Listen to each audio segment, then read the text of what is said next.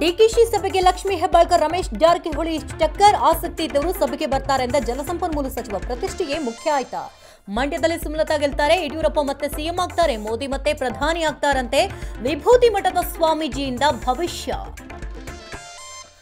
ಮೋದಿಗೆ ವಿನಾಶಕಾಲೆ ವಿಪರೀತ ಬುದ್ಧಿ ಹಿರಿಯಣ್ಣನ ಚಾಳಿ ಮನೆ ಮಂದಿಗೆಲ್ಲ ಬಿಜೆಪಿಯವರು ಚೌಕಿದಾರಲ್ಲ ಹುಚ್ಚರು, ಸಿದ್ದರಾಮಯ್ಯ ವಾಗ್ದಾಳಿ. ರಿಸಲ್ಟ್ ದಿನದಂದೇ ಕುಮಾರಸ್ವಾಮಿ ಸರ್ಕಾರಕ್ಕೆ ಒಂದು ವರ್ಷ ಸಾಲ ಮನ್ನಾ ಬದಲು ಸಾಂತ್ವನ ಅಷ್ಟೇನಾ? ಪ್ರಶ್ನೆ ಹುಟ್ಟು ಹಾಕಿದ ಪತ್ರ ಸ್ಪಷ್ಟನೆ ಕೊಟ್ಟ ಸಿಎಂ. ಬಾವಿಯಲ್ಲೂ ನೀರಿಲ್ಲ, ಬೋರ್ವೆಲ್ ಕೆಟ್ಟ ಹೋಯ್ತು, ಟ್ಯಾಂಕರ್ ಹಾಳಾಯ್ತು, ಬೀದರ್ ಜಿಲ್ಲೆಯಲ್ಲಿ ಜಲಯುದ್ಧ, ಬಾವಿಗಿಳಿದು ಕಾಲು ಮುರ್ಕೊಂಡ ಯುವಕ.